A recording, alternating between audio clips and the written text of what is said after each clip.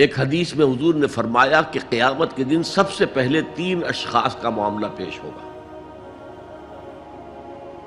एक वो था कि जो अल्लाह की राह में जंग करता हुआ मारा गया था, दुनिया में शहीद समझा जा रहा था।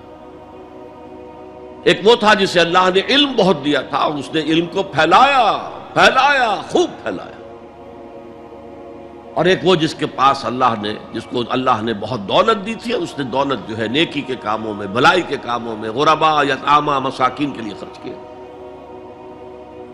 अब अल्लाह पूछेगा उन शहीद साहब से कि देखो मैंने तुम्हें सेहत दी थी, जिसमानी कुत दी थी, तुमने क्या किया? वो कहेगा अल्लाह, मैंने तेरे लिए कताल किया और अपनी जान दे दी।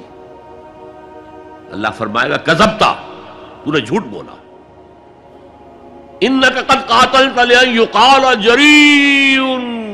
तूने तो ये जंग में हिस्सा लिया था इसलिए कि तेरी शुजात का डंका बच जाए। तेरी जुरत की शोरत हो जाए। वक़द कीला, वो कहा जा चुका, अब यहाँ तुम्हारे लिए कुछ नहीं है। और फरिश्तों को हुक्म होगा और औंधे मुँह घसीटते हुए उसको जहन्नुम में डाल देगा यही हशर होगा उस आलिम का। तूने वो नेकी का काम किया था। काल आलिमुन, कहा जा चुका दुनिया में? डंका बच चुका तुम्हारी शोहरत का। अब इसमें नोट कीजिए, अगर किसी आलिम के इल्म का डंका बच जाए, उसकी अपनी नीयत वो नहीं थी तो उसके अंदर कोई खराबी नहीं है। यहाँ मामला नीयत का है। अगर नीयत ये हो कि मेरे इल्म की शोहरत हो जाए, मेरे हाथ चूमे जाए, मुझे नजराने पेश किए जाए तो फिर वही हशर उसका होगा कि ओंधे मुँह घसीट कर जहन्नुम में डाल दिया जाए। यही हशर उस सखी का होगा जिसने सखावत की थी, जिसकी सखावत के डंके बच गए थे। उसका भी यही हशर होगा। तो इन नमल अमाल बिन्नीयात। तीन अशखास आए। उन्होंने हुजूर की अजवाज मुतहरात से मालूम किया, आप रात को कितना वक्त नमाज़ में लगाते हैं? आप महीने में कितने नफली रोज़े रखते हैं? अब जो कुछ उन्हें बताया गया, हुजूर की ज़िंदगी खुली किताब थी। बता दिया गया, इतना अरसा जो है आप रात को तहजद पढ़ते हैं। बता दिया गया, महीने में इतने रोज़े रखते उन्होंने उसे कम समझा। फतकालूहा, कलील समझा कि ये तो ज़्यादा नहीं है। हमारा तो ख्याल था कि आप सारी रात ही खड़े रहते हो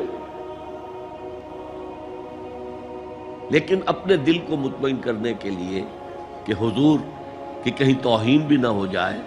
कहा जी उन्हें तो ज़रूरत नहीं है, वो तो मासूम ही है।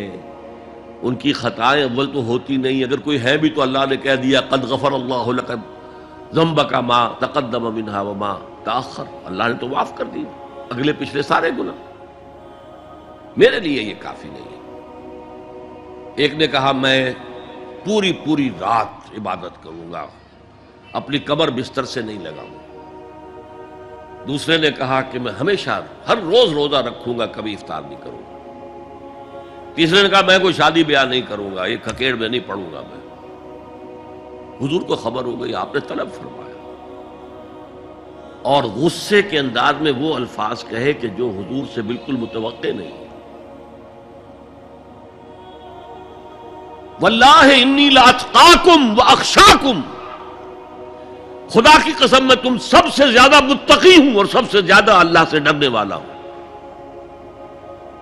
लेकिन मेरा तरीक यह है कि मैं रात को सोता भी हूँ और नमाज़ भी पढ़ता हूँ। मैं रोजा रखता भी हूँ, नागा भी करता हूँ। मैंने शादियाँ की हैं मुताद अजवाज मेरे घरों में है। फमन रगेबान सुन्नति फल सबिन्नी जो भी मेरी सुन्नत से हटा वो मुझमें से नहीं है, मेरा उम्मत ही नहीं है। तो नेकी का जज्बा भी हद एतदाल से तजावुज करके बदी को जन्म दे सकता है। दीन की बात फैलाना सदक़ जारिया है। सवाब की नीयत से वीडियो को शेयर ज़रूर कीजिए। जजाकल्ला